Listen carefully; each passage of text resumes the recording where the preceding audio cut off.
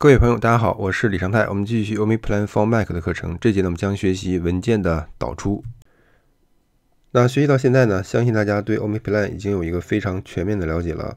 OmniPlan 呢，不仅能够管理任务，还能管理资源，还能管理成本，是一个非常全面的项目管理软件。OmniPlan for Mac 的功能呢，非常的强大，但是呢，它价格呢也比较高。呃，标准版价格是一百五十美元，专业版的价格是三百美元。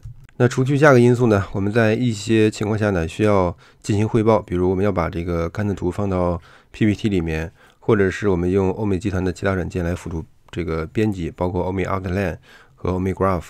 那此外呢，对于同一个团队，有可能一些同事呢使用欧美 Plan，有些同事呢使用微软的 Microsoft Project，所以呢需要文件的导出导入协同进行编辑。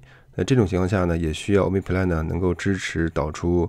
这个 project 的文件，那这节呢，我们重点学习如何将 OmniPlan 的文件呢导出，以及能导出哪些格式，导出这些格式文件的一些特点。首先，我们需要找到这个导出的位置啊，点到文件，点到文件，然后倒数第三行有一个导出，或者我们可以使用快捷键，点击导出之后呢，会看到如下的界面。大家注意到，目前呢列出了九种文件格式。那这个呢是 OmniPlan for Mac 的标准版，能导出九种文件格式。我们看一下专业版。那专业版呢，除去刚才的格式呢，还能导出针对微软 Project 的两种格式，分别是 MPP 和呃 XML。接下来让我们回顾一下 OmniPlan for Mac 的标准版和专业版功能的差异。主要呢在第二页，我们看到其中一项呢就是是否支持微软的 Project。呃，对于专业版来说呢，既能导出呃，project 使用文件也能导入 project 文件。接下来我们看一下具体导出的文件类型，我简单做了一下区分。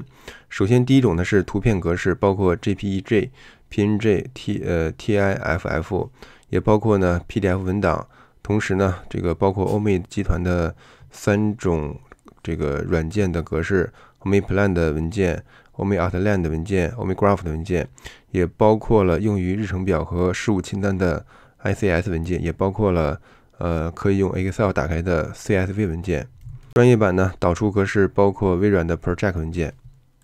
接下来呢，我们用一个例子来展示一下导出的一些效果和一些细节。首先呢，我们创建一个 OmniPlan 的文件，大家可以参考我这个图片做一下练习。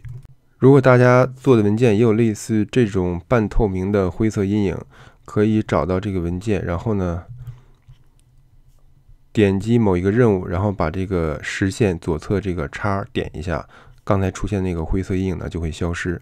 首先呢，让我们看一下导出图片格式的特点。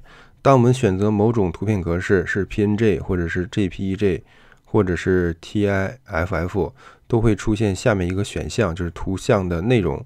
大家打开之后呢，可以看到有三个选项：甘特和大纲、仅甘特图、仅大纲。那这个其实说的就是这个结构。左侧呢就是大纲，右侧呢就是甘特图。如果你选的是大纲加甘特图，导出的就是整体，就是当前的视图。如果你只选择大纲，就是这样；如果你只选择甘特图呢，就是这样。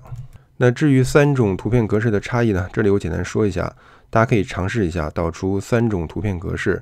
那这里呢，我做了一个对比，大家可以很明显的看到，同样导出一个项目的图形格式文件。TIFF 的格式呢，这个是最大的，四点七兆，这个导出的图片质量是最高的。JPEG 呢和 PNG 呢，呃，大小差不多，但是 PNG 呢目前比较呃适用于网络图像。那我个人的习惯呢是保存成 PNG 的图像，放到 PPT 里，或者是放到 Keynote 里，或者是放到一些文档里和大家进行交流。接下来我们看一下导出 PDF 文件和导出图片格式文件的差异。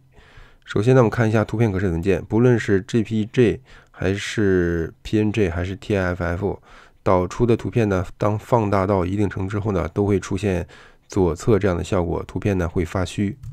但是呢，PDF 格式的文件呢是可以无限放大的，这个图像呢是啊，这应该说 PDF 文件呢是矢量文件，放大到多少倍，这个文字和图片呢都不会发虚。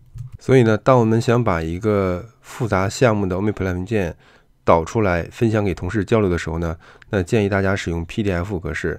那这种格式的文件呢，可以放大，不会丢失细节。那比如呢，我们把项目的进度图呢导出成 PDF 格式，可以通过微信，可以通过邮件发给同事。接下来我们看一下导出 Omate Outline 的格式。Omate Outline 呢是欧美集团出的一款软件，应该说和 Omaplan 呢是并列的关系。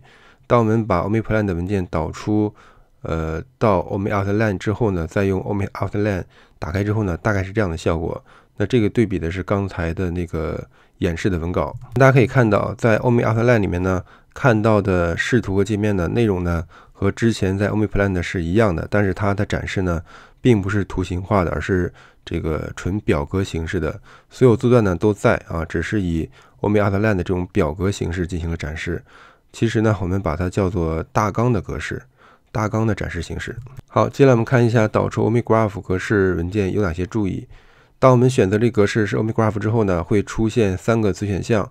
当我们点击图表类型之后呢，会看到三个选项，分别是工作分析结构、节点式网络图表、箭头式网络图表。那我把刚才的示范文稿呢，分别导出三种格式，大家可以看一下效果，也可以回去自己练习一下。第一种呢，工作分析结构，其实呢，我理解为就是工作分解结构。平时呢，我们可以在 Omaplan 中呢梳理大纲结构，梳理好之后呢。导到 Omate Graph 的文件格式，呃，尤其是呢工作分解结构，可以用 Omate Graph 打开，就会看到这样的效果。那这种效果呢，可以用于放到 PPT 里进行团队的交流。当然，大家注意到，在这种文件格式下，我们只能看到它的工作分解结构，至于一些其他字段，每个任务的时长、开始截止时间都没有了。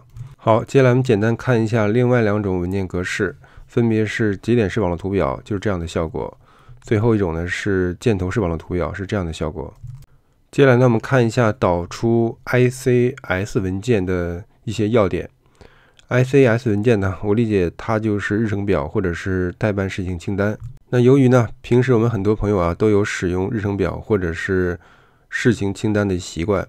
如果呢，我们把 Omaplan 中的任务呢直接导到自己的日程表或者是待办事情清单中，这样的。工作效率呢就会提高，会更加的方便，相当于把 Omaplan 中的任务直接转为日程表的内容或者是待办事项。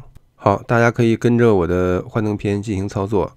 我们先点击 ICS 文件，然后呢点击待办事项，然后点存储。点击之后呢保存到某一个位置。这时候我们看到这文件的格式是 ICS 文件啊，文件很小，只有一 KB。接下来我们点击这个文件，双击这个文件，点击之后呢。会出现这样的提示，可以把它放到某一个列表里面去。我们选提醒事项，点击好。接下来呢，我们可以看到刚才我们在 omi plan 中设置的所有任务。这个第一项呢，并不是刚导入进来的，是我之前做测试手工录入的，和这个导入呢没有关系。这个时候呢，我们可能遇到一个问题，因为一个项目中的所有任务不可能让自己或者某一个人完成。这时候呢，我们需要进行筛选。大家可以使用之前我们学习的筛选功能，比如这一个群组的所有任务都是由我自己来完成，我可以选中这个群组，然后呢进行聚焦。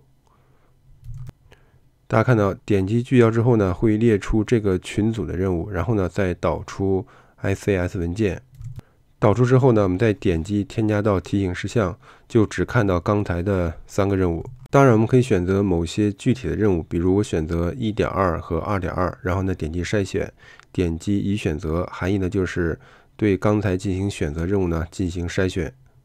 接下来呢点击好，就看到这样的界面，然后呢可以导出这两个任务的 ICS 文件。应该说筛选任务的方法呢很多，比如我们在任务名称中呢加一些符号，加一些标签儿都可以。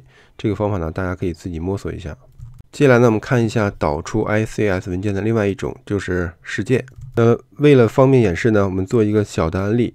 我创建两个任务，第一个任务呢是需要投入一天，第二任务呢需要投入是一天半。